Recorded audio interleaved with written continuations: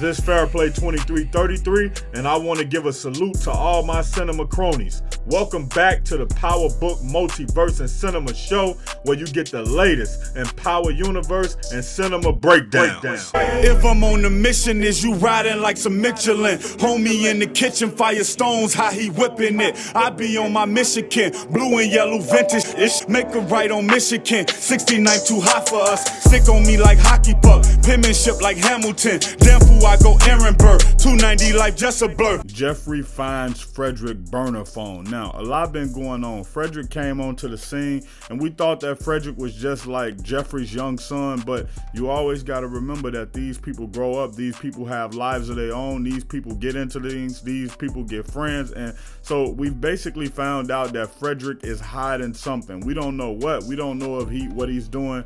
He's doing it to try to protect Geoffrey, or we don't know if what he's doing, he's doing it to try to gain information on Geoffrey for somebody else. But I told y'all in my previous video that Will Smith, he actually heard Frederick on the phone talking to somebody from back in London, and that conversation sounded like he was being uh, shady. If y'all want to watch that video, go to my Bel Air Season 3 playlist to get my breakdown and recap on that situation. So fast forward, they end up going to like some like um, car show and basically they go there. They got this shirt brand called black sets which is their new business they trying to break out. Well frederick basically ended up telling the man the real money is on the car racing and that happens after hours. So will and carlton got in the streets to do an illegal car race Will and Carlton ended up winning that street race, and they ended up helping Jazz keep his car and get $30,000 in order to pay his taxes on a record store. Now, Frederick, he was out making bets, and he actually beat some guys out of some money. The guys was trying to beat him up. The police came, they ran,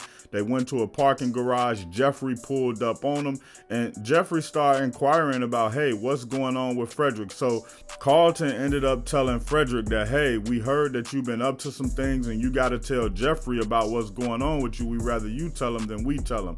And then Frederick said, hey, well, if I'm telling Geoffrey anything, I'm telling him the entire truth. Do y'all want him to know that y'all street racing? So obviously they stopped from that point. But then Moving forward, Carlton felt bad about what was going on. He told Geoffrey that he was street racing and told him that he had something else to tell him about Frederick. Geoffrey basically just told him, hey, that's my son. Let me worry about him. And then Geoffrey ended up going to his room and snooping around while I believe Frederick was in the shower and he ended up finding his burner phone. Now, the biggest problem with me is Frederick got a burner phone and he just got the burner phone sitting in his bag like that. That is crazy. Now, I do understand that you feel like it's your bag, it's your personal items. Nobody will go through them. Nobody should go through it. But I would have tried to hide that in a drawer or something. But then when you look at it, Geoffrey is the butler of the house, so I don't know if he changed people's sheets and stuff like that, but I'm almost sure he do. And the reason why I'm saying that, because my first thought would be to like hide it under the bed, like just put it under my mattress, or put it in your shoes. Like that's somewhere that you would do, man. When you put something down inside of your shoes, people never gonna check and be like, oh, he keeping this inside of his shoes.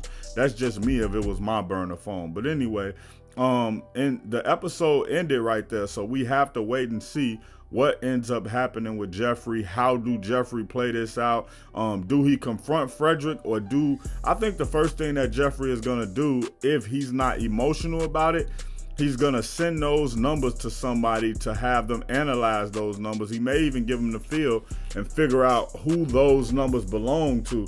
Um, I'm sure that by looking at them, he can already tell that they from over in London. But what is Frederick up to? Geoffrey brought Frederick there to keep him safe, but in reality, he may have bought Frederick there and put everybody else in danger. One thing I hope that don't happen in Bel Air, I hope that don't nobody die on this show because this is more of like a feel good show. So I would hate to see somebody die in the process of this.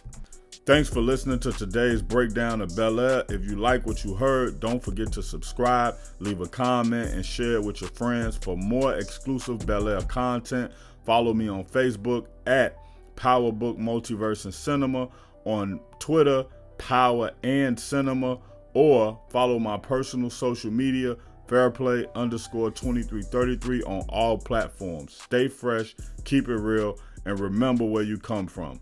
Um, Fairplay 2333. This is Power Book Multiverse and Cinema, and salute to all the cinema cronies. Check out my original Chicago hood movie in the end screen, No Time to Play Fair.